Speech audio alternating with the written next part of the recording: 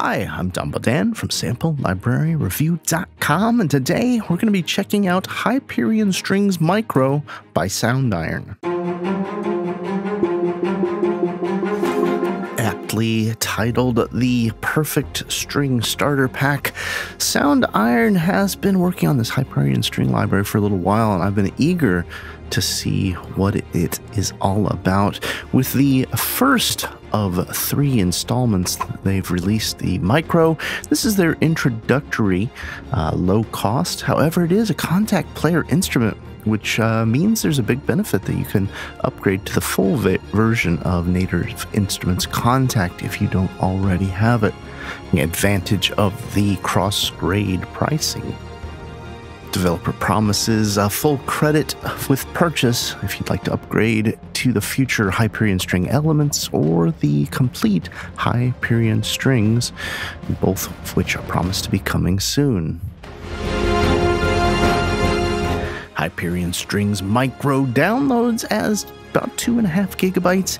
It's a string sample set recorded at Fantasy Studios in Berkeley, California. Contains five NKI instruments, ensembles, violins, violas, cello, and basses, with multi-dynamic sustains, staccatos, spiccatos, and pizzicatos, as well as controls for real-time vibrato, tempo sync crescendos, and decrescendos. Library comes with a soundstage for positioning, which is really cool cool. We'll get into that. And dozens of custom rooms, halls, chambers, and effects environments. There's also a play assistant and an arpeggiator, which we'll get into a little bit in the review today. Hyperion Strings Micro is a Kontakt instrument, meaning it's compatible with both the full and free version of Kontakt and loads up right into your libraries tab. And what makes this probably such a special instrument is all of this sells for just $49. At the time of putting this together, library is available for a special $39 intro price. I'll be sure to include a link to take you over to Sample Library Reviews Hyperion Strings page. We'll have all the demos and any other review videos I find around the web.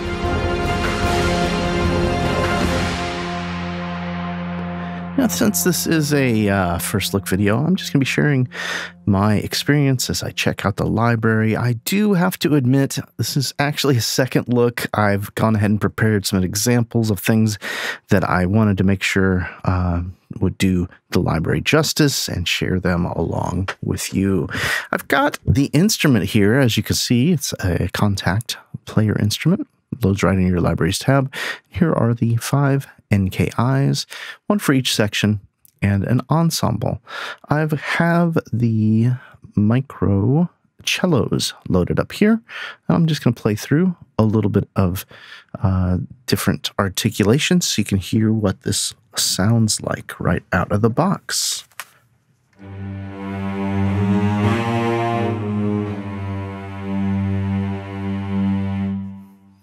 Now, one thing I noticed right away is that uh, blend for vibrato here, uh, you're able to really change that. It's already hard baked into CC 11. You could always reset that somewhere, I'm sure. And you could see your dynamic reactive right here. So this is our selector for our articulation. And we've got legato turned off. I'll turn it on again, and I'll use both my expression, which is the swell knob, as well as my blend, which is the vibrato.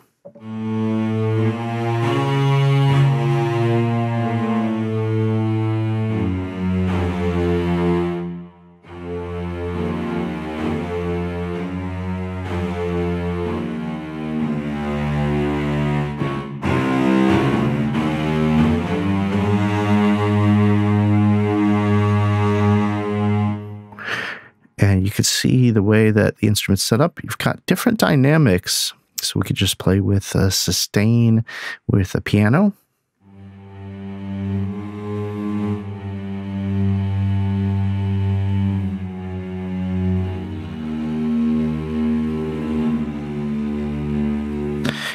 Notice because I switched that, the legato turned off. I didn't catch that at first.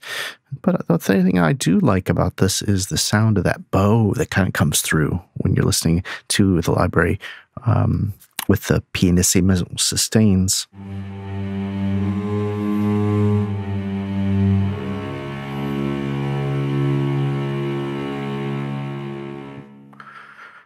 Moving along, we'll go over to our staccatos, and you'll see we've got a number of staccatos.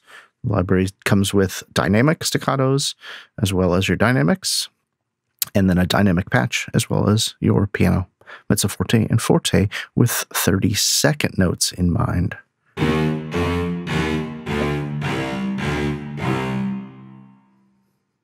So that's the dynamics. Here is the forte with eighths and with 30 seconds. Spiccato.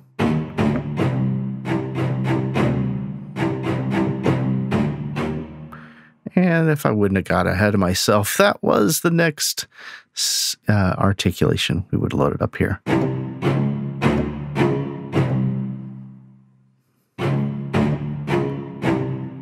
We also have the ability to go into our different layers and change what loads in a different area for the edit page, it looks like.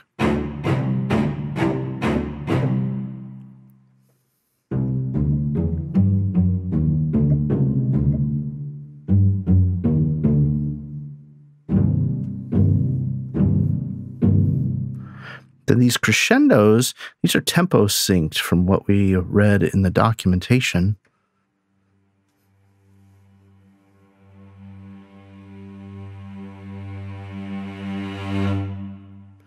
You see it you can actually see the way it plays there. It looks like we've got different modes and sync normal and variable. So here's our sync. I'm at 128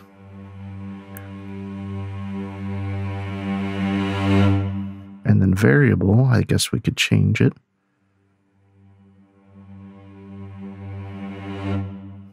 and we've got both crescendos and decrescendos. And here it's labeled long. I don't see a place to change it to shorts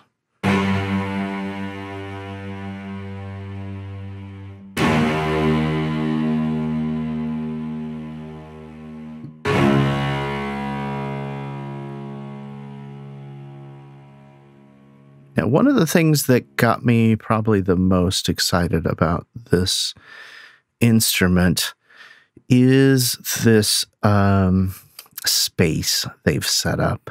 You're able to utilize a number of different IRs as well as positioning.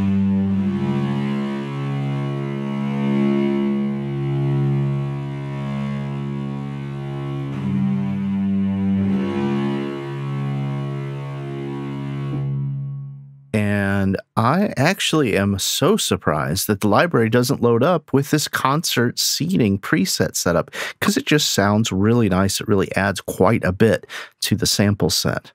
There's also um, some, uh, let's see, I think this clean and light is that one? very upfront. It is a smaller a set of players, so you get a lot of immediacy in the sound.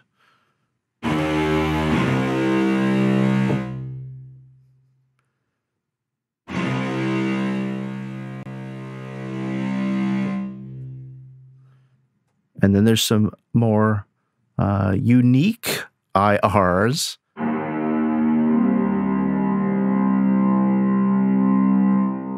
This is pretty typical of the sound design Soundiron tends to do, um, from my experience. They tend to be able to create some pretty cool tones using the sample sets and the IRs.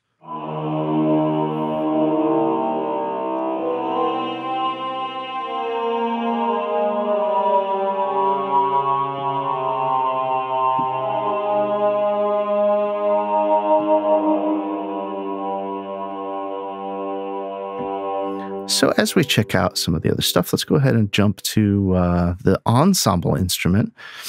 Um, the library does load pretty quick normally, but as you could see, I've got it on my uh, hard disk spinning disk, not my SSD. So it takes a little longer to load there.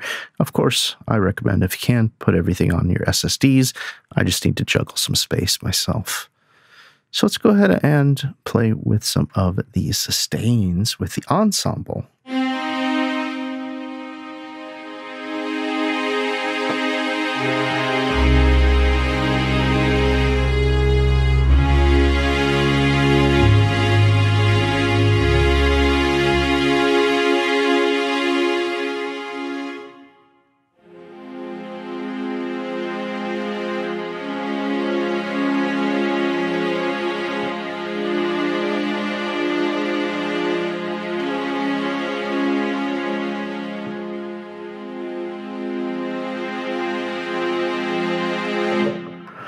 What's different about the ensemble instrument I saw is it gives you the ability to actually adjust both your panning as well as your uh, dynamic playback here with volume and the keys in which the instrument plays. So as you can see right now, the cello is only playing in this area, uh, the green, this green right here. Sorry, there's a couple greens that Looks like are right here and cello is here.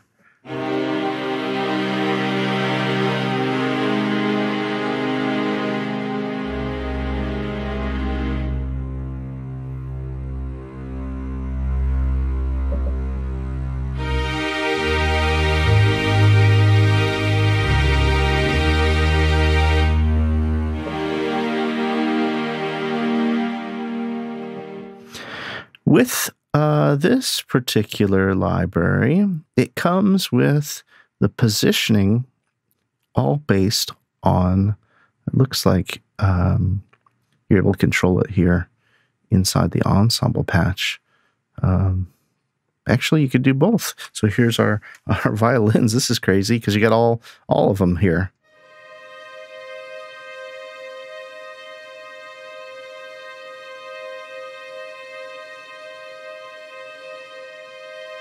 There it is. I do have to say the difference between a green for cello and green, lightly blue-ish green, I should say. Um, would like to see a little more differentiation, but that's just me being nitpicky, obviously.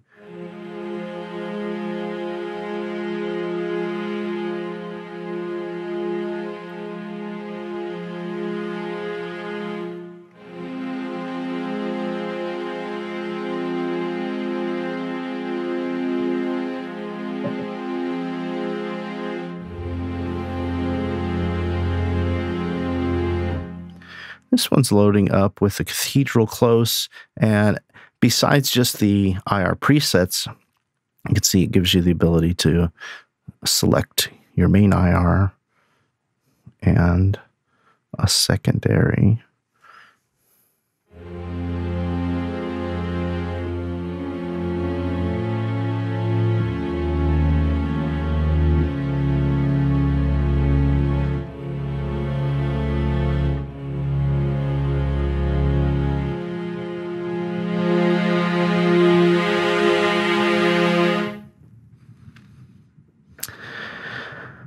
Play assistant here, um, it looks like it gives you the ability to.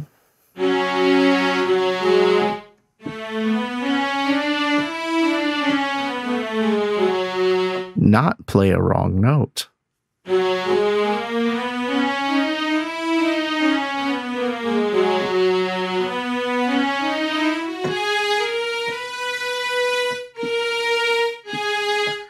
As you can see, I don't have any black keys that can play anything. By merely selecting my key, I'm adjusting sharps and flats to my white keys. Interesting. I'm not sure how much I would use this, but I could see how this might be advantageous for a younger um, composer who maybe is learning music theory or wants to quickly utilize one key or the next. As for the arpeggiator, in my opinion, we're going to need to switch to spiccato to really get the most out of this.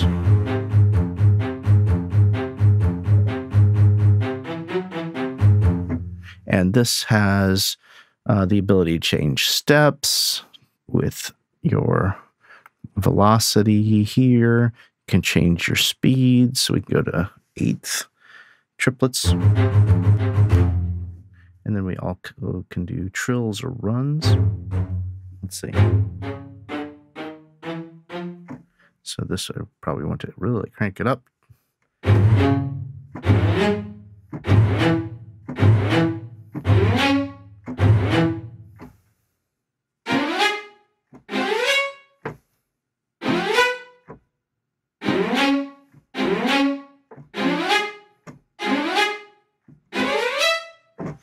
This looks like it could be kind of fun to get a little bit of playfulness with a run, arpeggio.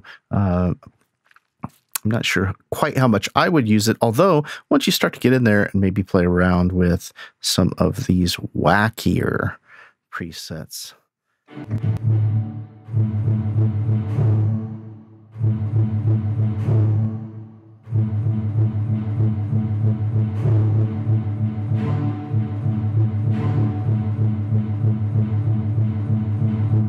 Might be able to get something really fun. Let's see which one, the moon dust. Here we go.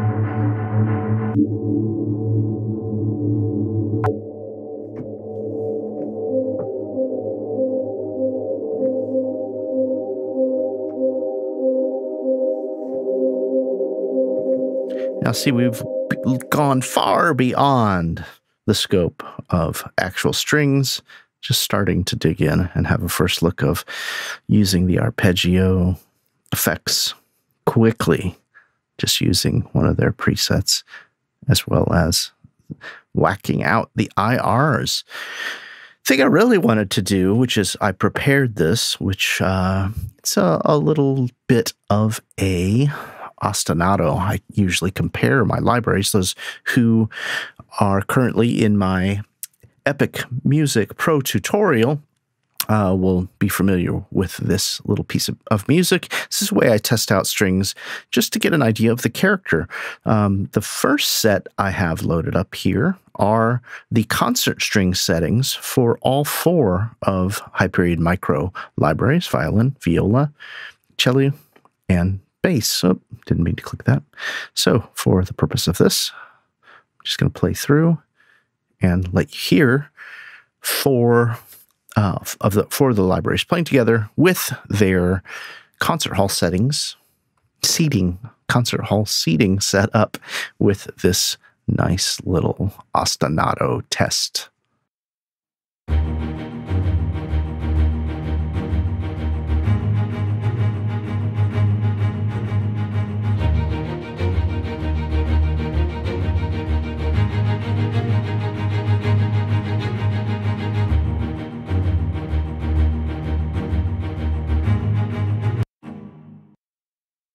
And that's how uh, the concert seating sounds with utilizing our spiccatos, really short spiccatos inside the concert hall settings across all the instruments.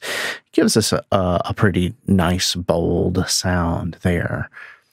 For the other version I wanted to load up, it's called Richly Thin settings here. And this is uh, another one of the developer's presets. I thought it sounded pretty good. I thought it'd be a nice contrast to hear with the same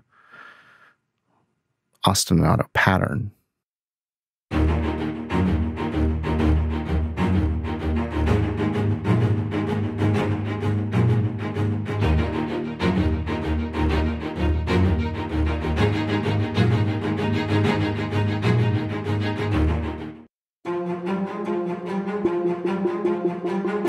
And I think that starts to crack the surface of Hyperion strings. We'll have a full written review from one of our contributors in the next couple weeks to come once they've had a chance to really dig into all that this library has to offer.